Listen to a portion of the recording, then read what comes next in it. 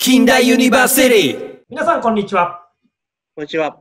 日本の大学全部行く男、山内大治です、えー今日はですね、近畿大学理工学部応用化学科の、まあ、教育研究内容につきまして、岩崎光信先生からお話をお伺いします。先生、どうぞよろしくお願いいたします。よろしくお願いいたします。えー先生、応用化学科ということで、高校生もいわゆる科学、化学は勉強していると思うんですが、大学の応用化学科というのは、どんな勉強ができるんでしょうか？はい。あの、まさしく応用科学ということから、科学を主体的にあの学んでいくっていうことですけれども、応用がついてますんで、科学を基本として、えー日本の産業界に貢献していく、えーということで、例えば、あの、日本の、まあ、いろんな産業界にで、あの、就職して活躍できると。で、えーそのための基礎的な、まあ、あの、勉強をしていくっていうのが主体で、まあ、ここに関してはどこの大学も一緒だとは思うんですけれども、特に近畿大学は実学を重視してますんで、あの、実学に沿った教育を、あの、実践しているところでございます。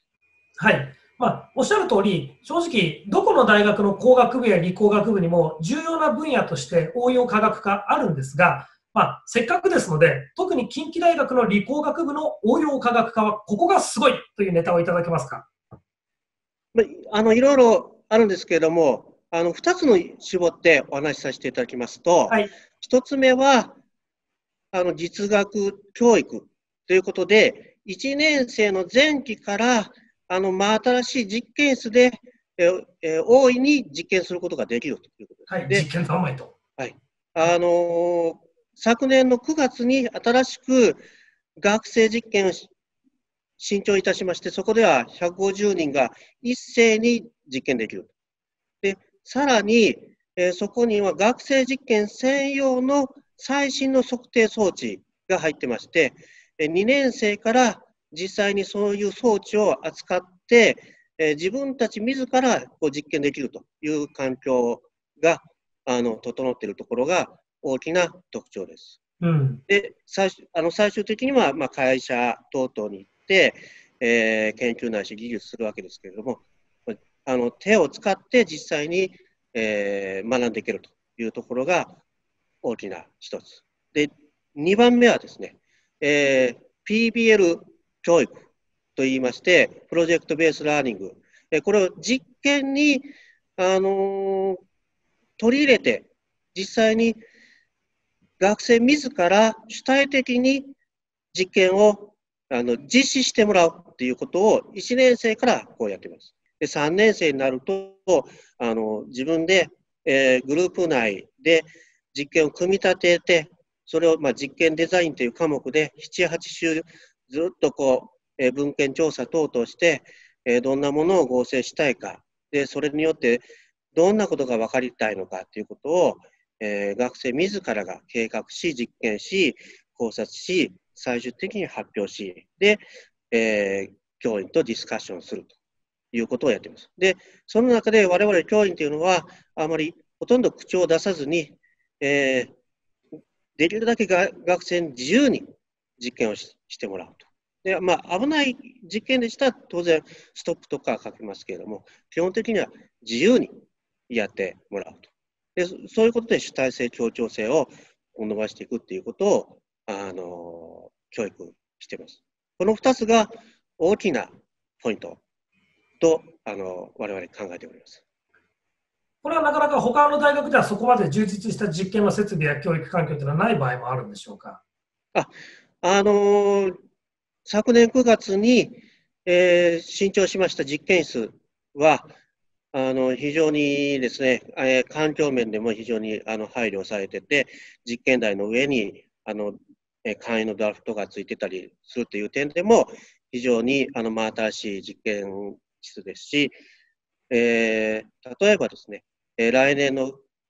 えーには国際科学オリンピックっていうのが近畿大学で開かれますけれども、えーその、えー理由はやはりこの新調した実験室でできるということが大きなポイントにななって選ばれたんやとあの、はい思っております。おめでとうございます。ありがとうございます。はい。まあ、やはり実験室の学生の実験室の環境がまあ素晴らしいというのは大きな売りであるということですね。はい。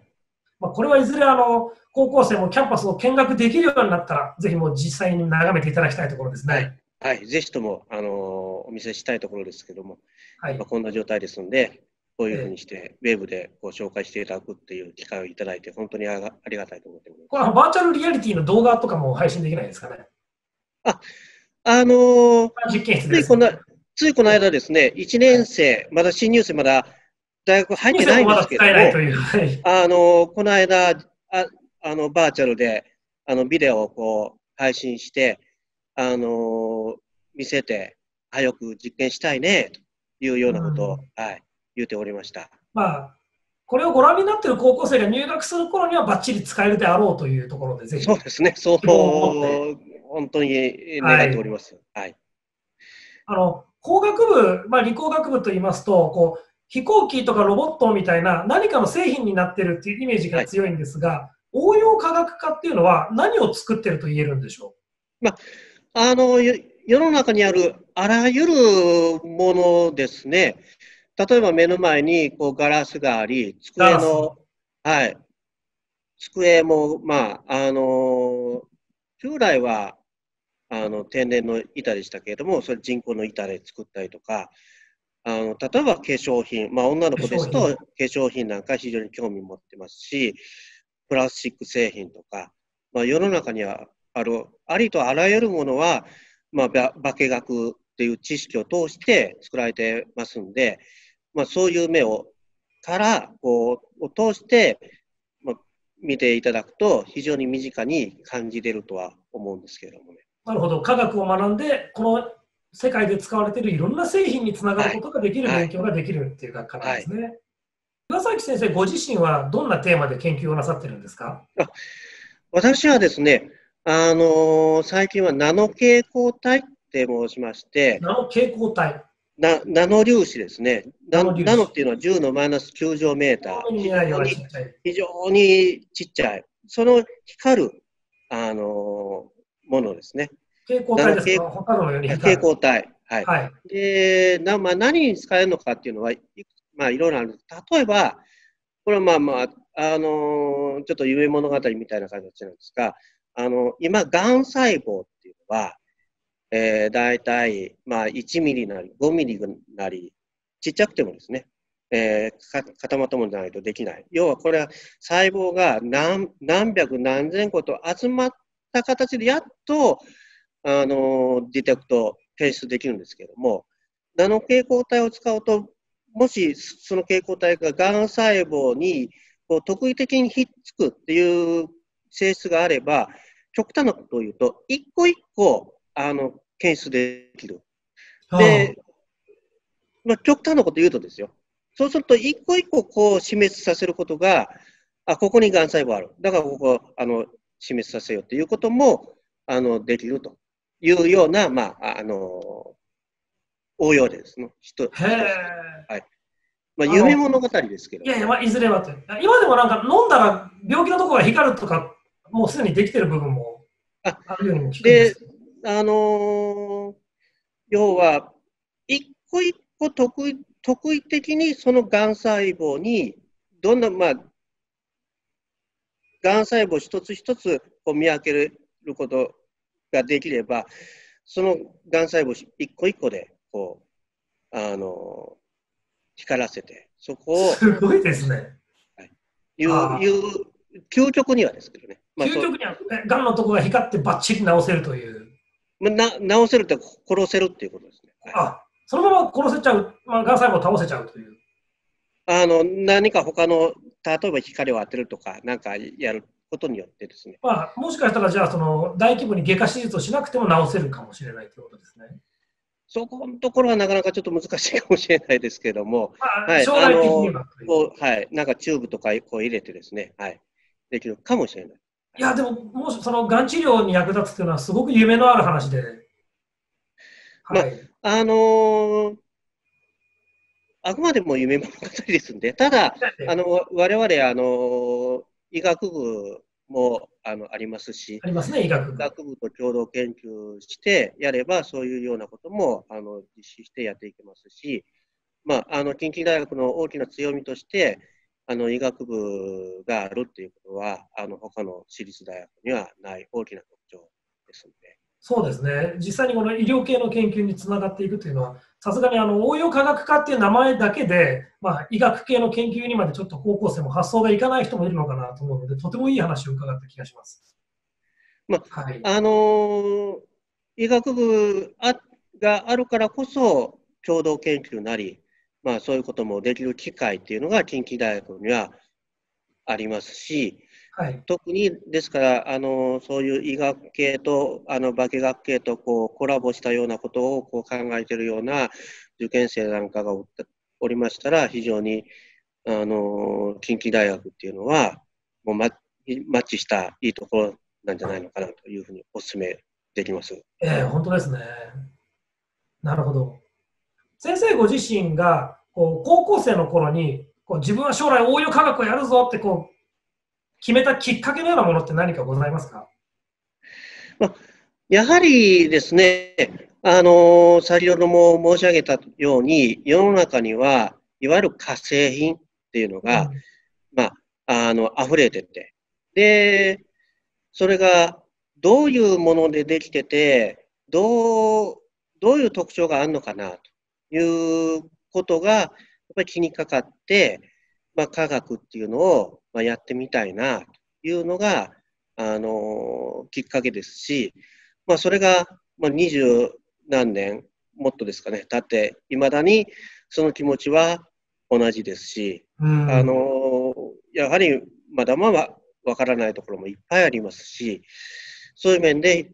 あの一生続けられる非常に楽しいあの分野だと思っております。あなるほど。まあ、これから応用科学の道に入りたいっていう今の高校生の皆さんに対してですね、まあ、高校生のうちにこういうことをやっておくといいよ、あるいはこの本を読んでおくといいよといったものをご紹介いただけますでしょうか。あまあ、あの先ほども言うたんですけれども、今、科学高校の科学をこう勉強してて、なかなかそれが実際にこう結びついてこないと思うんですけれども、うん、あの世の中にあるもの一つ一つ、例えば先ほど言ったガラス、ガラスっていうのは何でできてるの？どうしてこんな透明なのっていうような、うん、一つ一つなんか疑問を持って、ちょっとでもこう解決、あのー、していけるようにして、新たなこう発見があったら、さらに勉強も楽しくなってくると思いますんで、はい、そういう身近なところからちょっと疑問を持って、あの、それを科学の知識にこう、つなげて、あの、疑問をこうちょっとでも解決ししていくような癖をこうつけてもらえたらな。なるほど。というふうに思います。わかりました。まあ、なかなかね、あの日常生活の中でこう、どういうことがこう科学に関してあるんだろうと考えるという、まあ、癖をつけるというのは、じゃあこれからぜひね、高校生の皆さんに日常的に意識してやっていただいて、はい、そうですね。はい。はい、じゃあ先生のもとでこう新たな謎を解いていただくという。はい。はい。あともう一点、あのーはい、近畿大学の理工学科、まあ、近畿大学全体で、あのー、アピールポイントとしては、はい、あのこの特に東大阪キャンパスは、あの、はい、研究設備が非常に整ってまして、あのそういう面で4年生に上がっ、まあ、卒業研究っていうのをするんですけども、その中で、あの、最新鋭の、えー、研究装置を自分自ら使って大いに実験できるというのが大きな特徴になっています。あの、なかなかこういう、まあ、億単位の測定装置を学生自らね、はい、あの、使ってやるっていう大学っていうのはほとんどないんですけれども、っていうのは、壊れたらすぐに何十万何百万のあの 人ですね。まあ、これは世界ですね。あの太っ腹かもしれないですけど、でもややっぱり実学を歌ってる上で、やっぱり実際に装置を使って研究してもらいたい。っていうこともです。ここも大きなアピールポイントで、まあ、あの、うん、自由に実験できますんで、非常に伸び伸び、えー、4回生、あの実験しておりますし、ぜひともそういう実験をしたいっていう学生をおったら、近畿大学は非常にお勧めやと思いはい、もう億単位の値段がするすごい装置で実験したい人はぜひ、ます。はい。はい壊しちゃダメよというところでですね。い、や、まあまあ、あの、そこはね、いい、でも壊れてしまうんですけどね。まあ、壊れてしまうんですか？修理しつああある程度は目をつむって、はい。やはりあの設備がすごく気になるので、まあ、大学に入れるようになったらですね、多くの高校生の方、ぜひ現地で見学をしていただきたいですね、実験ぜひとも、はい。はい。まあ、その日を祈りつつ、今はまあ、いろいろ入れて勉強できることを頑張ってくださいというところでございます。はい。えー以上でですね、理工学部応用科学科につきまして、岩崎光信先生からお話をお伺いしました。先生、本日はどうもありがとうございました。どうもありがとうございます。